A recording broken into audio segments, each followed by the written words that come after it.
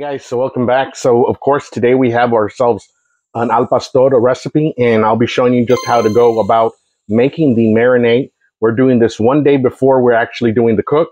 So let's get started. I'm going to tell you a few things that are optional and then the others will be uh, what you really need. So the first thing is the anchote paste. We're doing about a little over five pounds, I think six pounds of uh, pork butt. And so what we'll be needing three tablespoons of this stuff. So I'm going to just do a rough, rough estimate.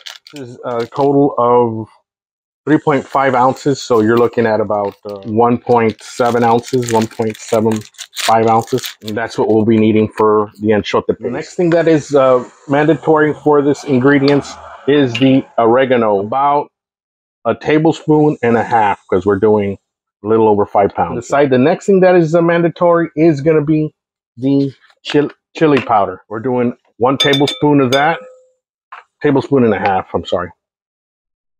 And so the next thing that is mandatory, of course, also for this recipe is the garlic powder.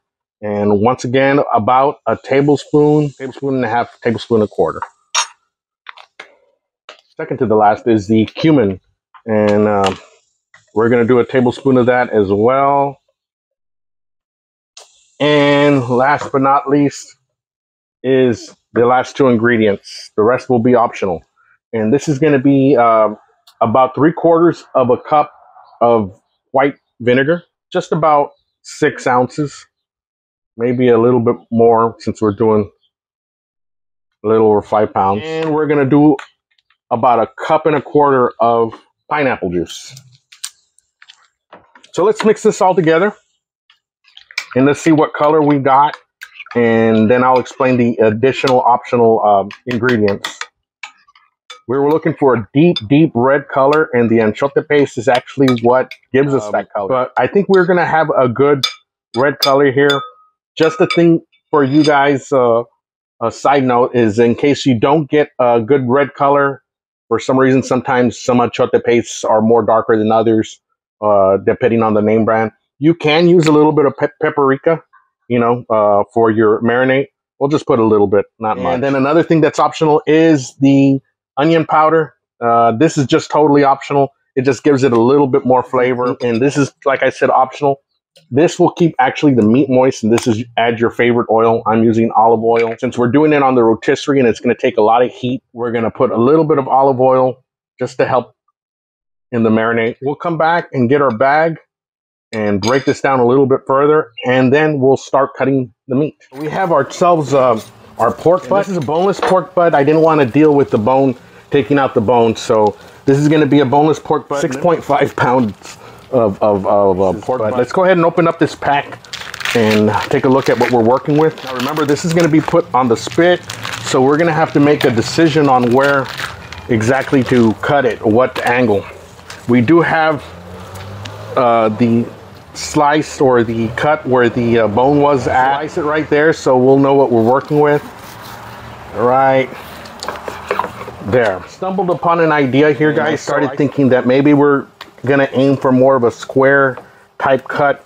So we got this uh, piece of the pork butt there. I'm thinking that we're gonna cut it straight down the middle and then try to get some squares. So uh, cut it right here down the middle and then I'm gonna try to slice this into squares so I can start shaping our al pastor even before we put it on the spit. Okay guys, so we got our stacks of meat and like I explained before, we went ahead and actually got about uh, slices that are about this type of uh, width.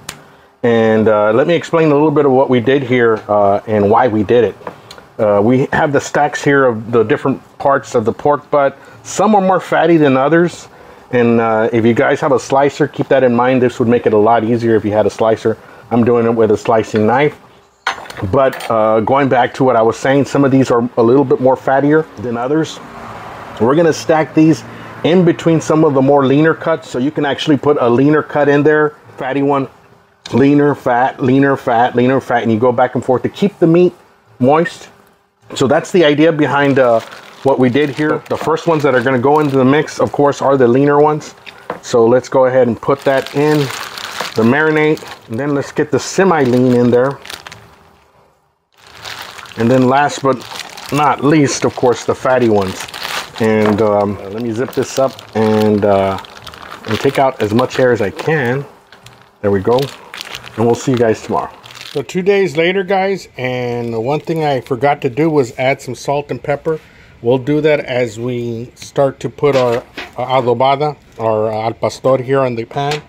And we do have our pineapple. We're going to slice that and put it on the spit rod. Thing that I did want to point out real quick was the way we're setting up the vaquero. So you see that we have the center uh, there with some uh, lump charcoal and then we have a few more down here closer to the wall. We're going to actually be having the fire right here in the center as uh, it requires more coal or more charcoal. We'll be able to scoot it under from there. So just an idea if you guys are thinking of doing the same.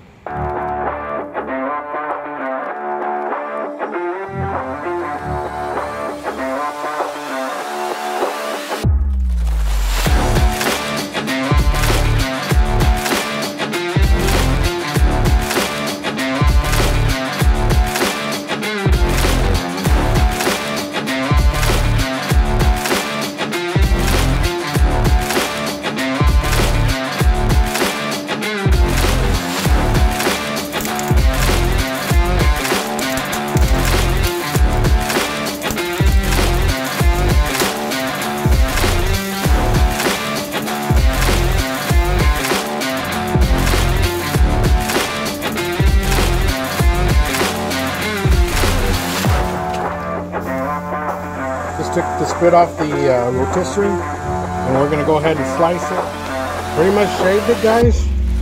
Check it out.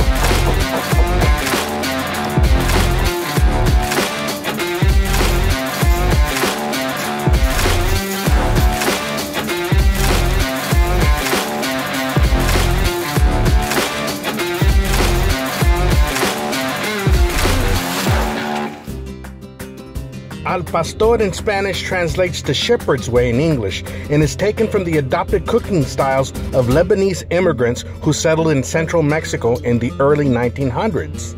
Although it is referred to by different names in different regions, for example, in Monterrey, Mexico, known as trompo, adobada in Baja California, and al pastor in Mexico City, the dish still translates to something simply delicious. The thin slices of charred, shaved, marinated pork from the rotating spit, placed on a corn tortilla topped with red onions, chopped cilantro, pineapple chunks, and avocado slices must be the godfather of all tacos. All ingredients are listed in the video description if you guys want to give this a try. Don't forget to like, comment, and subscribe. And as always, thank you for watching. Until the next time, guys, take care of yourself and each other.